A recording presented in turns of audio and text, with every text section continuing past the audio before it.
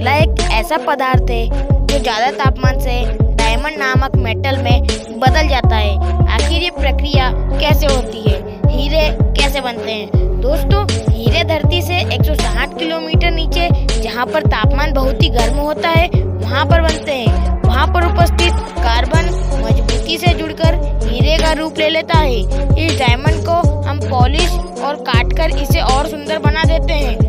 और यह आज करोड़ों वाली पहली वस्तु बन गया है।